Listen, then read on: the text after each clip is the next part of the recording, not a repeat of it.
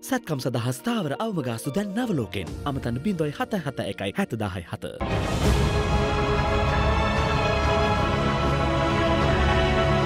තවත් කොවිඩ ආසාධිත මරණ එකසිය සූහයක් සෞඛ්‍ය සේවා අධ්‍යක්ෂ ජනරාල්වරයා විසින් ඊයේ තහවුරු කළා. ඒ සමඟ මෙරට සමස්ත කොවිඩ් මරණ සංඛ්‍යාව හයදහස් සත්සිය අනුවක් දක්වා ඉහළ ගොස් තිබෙනවා.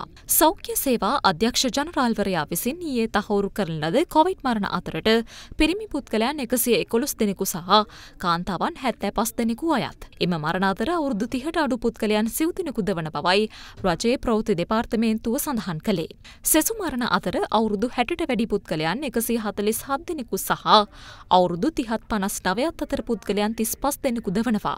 එමෙන්ම මේ දක්වා කාලය තුළ මෙරට වැඩිම දෛනික COොVID-19 ආසාධිතයන් සංඛ්‍යාවද ඊයේ හඳුනාගෙන තිබෙනවා. ඊයේ මෙරටින් නව කොවිඩ ආසාධිතයන් තුන් දහස් අටසිය හයදිනෙකු හඳුනාගත් බවයි යුද හමුදාපති ජනරාල් ශවේද්‍ර සිල්වා මහතා පැවසුවේ. ඉන් ආසාධිතයන් දහතුන් දෙනෙකු විදෙස්කතව සිට මෙරට පැමිණි පුද්ගලයන්. ඒ අනුව මෙරට සමස්ත කොවිට ආසාධ්‍යයන් සංඛ්‍යාව තුන් තුන්ලක්ෂ හැත තුන්දහස් එකසිය හැට පස් දෙනෙකු දක්වා ඉහළකුස් තිබෙනවා. සමස්ත කොවිට ආසාධිතයන්ගෙන් තුන්ලක්ෂ දහට දහස් හත්සියදා හතර දෙනෙකු මෙවන විට සුවය ලබා ඇති අතර ආසාධිතයන් හතලිස් හදහස් හයසිය හැට එක් දෙනෙකු තවතුරටත් ආසාධිතත්වේ පසුවන බවයි වසංගතරෝග විද්‍යාංශය පැවසුවේ.